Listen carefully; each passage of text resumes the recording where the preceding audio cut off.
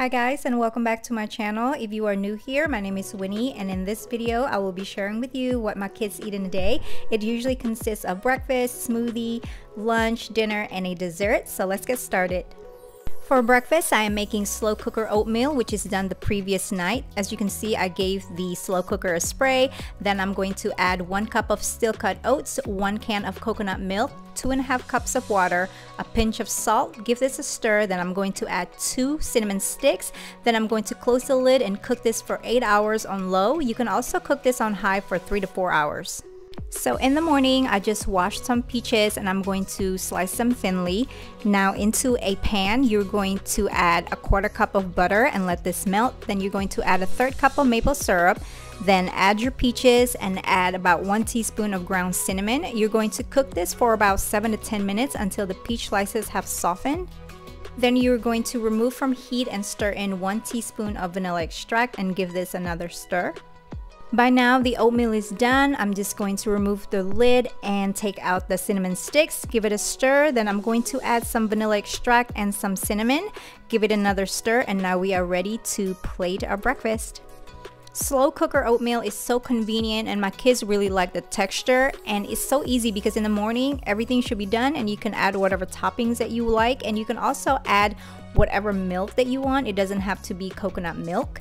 And now I'm just going to add the peach foster, a little drizzle of milk and some granola to give it a crunch and this is their breakfast.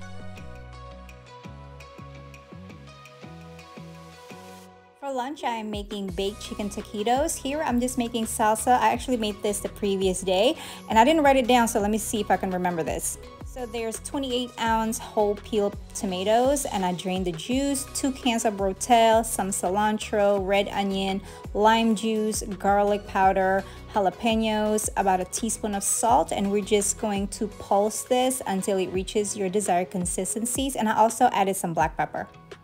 And I also drained the juice for the tomatoes and this is the consistency that I like. For the chicken taquitos, here I have 3 cups of shredded rotisserie chicken, 4 ounces of cream cheese, 1 cup of Mexican blended cheese, a third cup of the salsa we just made, and 1 teaspoon each of salt, pepper, garlic powder, onion powder, smoked paprika, chili powder, cumin, and dried oregano, so essentially taco seasoning. And feel free to add more salsa in there if you like. Once it is all evenly combined, we're going to take about 2 tablespoons of the mixture into a tortilla shell. It helps if you warm the tortilla shell first so it can be more pliable. And you're just going to roll it tightly and brush the end with some oil. And make sure that you preheat your oven to 375 degrees and grease a casserole dish. And now you're just going to repeat the process for the remainder of the fillings.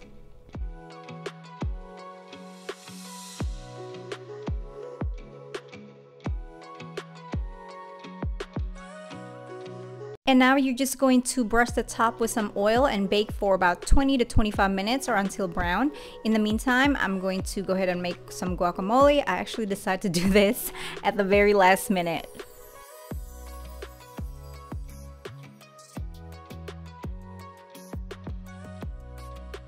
To the avocados, I'm going to add some red onions, some chopped tomatoes, cilantro, lime juice. I also added seeded jalapeno peppers in there. It's not spicy and one teaspoon of salt, some pepper, and we're just going to mash it all up. To serve, here I have some shredded lettuce and I'm just going to put the taquitos right on top. Then I'm going to add the salsa, the avocado, and some sour cream. Next time, I prefer frying it. It isn't as crispy as I want it to be and I probably will put just the salsa and avocado to the side. But this was pretty good and here's our lunch and this was for the whole family. So in the afternoon, I made them their smoothies. Here I have one cup of coconut water, one navel orange that I cut into wedges, three quarter cups of frozen cauliflower, one cooked beet, one packet of frozen dragon fruit, one cup of frozen pineapple, one date that I soaked in warm water, and one teaspoon of bee pollen, that is optional. And now I'm just going to put the lid on there and blend it until smooth. And you can also add more coconut water in there or just plain water if you don't want it as thick. For dinner, I am making Hawaiian Loco Moco. I haven't made this in so long and I forgot how much I love this meal. So essentially, it's just hamburger with gravy And here I have two pounds of ground beef, two tablespoons of soy sauce, two teaspoons of Worcestershire sauce, a few drops of liquid smoke, one teaspoon of garlic powder, one teaspoon of onion powder, and we're just going to mix it all up and I'm going to divide this into six equal balls.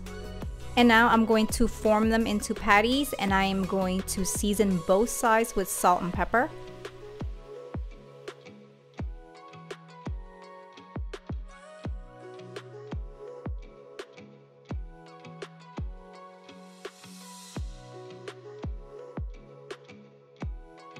And now I'm just going to heat a cast iron skillet and cook the patties for about four minutes on each side. So they won't be done, but it will finish cooking in the gravy. And you're just going to make sure that you cook them in batches to ensure proper searing. Remove them onto a plate and you're going to do the other three patties.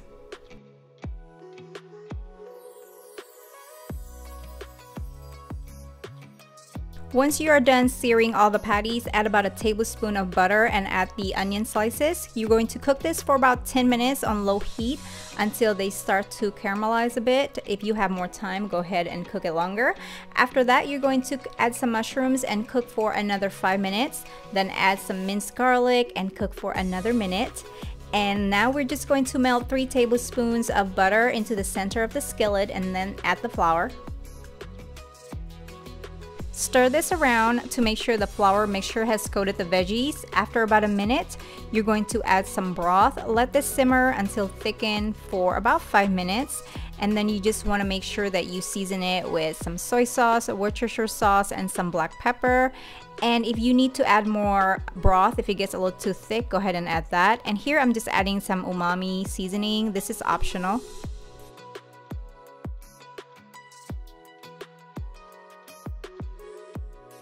And now you can go ahead and add the patties back into the skillet. I'm just going to go ahead and add all six of them. Make sure that you spoon some of the gravy over the patties and cook until the internal temperature reaches 165 degrees.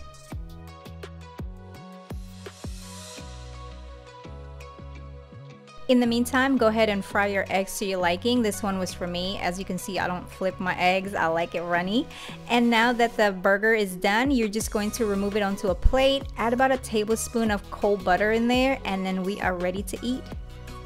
To serve, I'm just going to place some rice on a plate, top with one hamburger patty, gravy, and then the fried egg. And we're going to garnish this with green onion.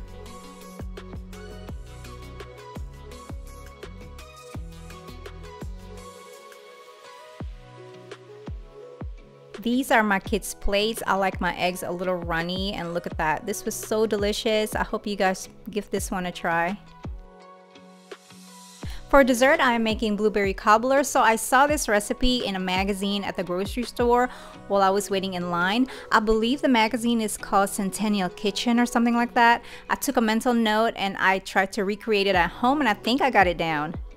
I love these little challenges where I can read a recipe in a magazine and see if I can recreate it at home by memorizing it. So this recipe is actually pretty simple and you probably already have the ingredients at your house.